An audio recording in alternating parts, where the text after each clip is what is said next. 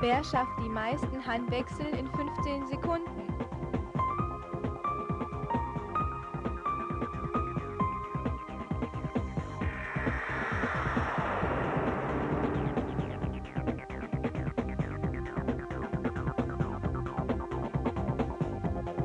Führe den Handwechsel unterhalb des Stabs aus.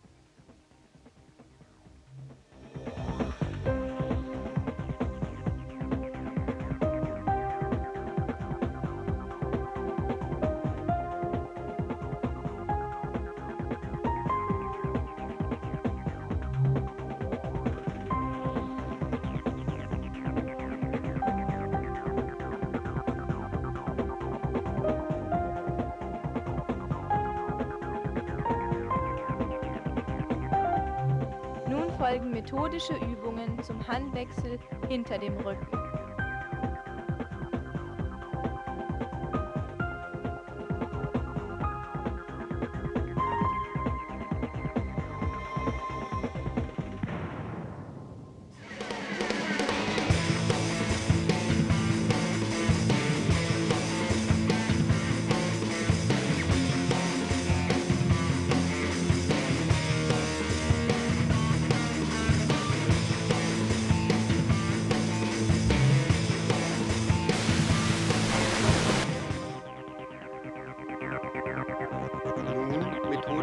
Hinweise zum Drehdribbling.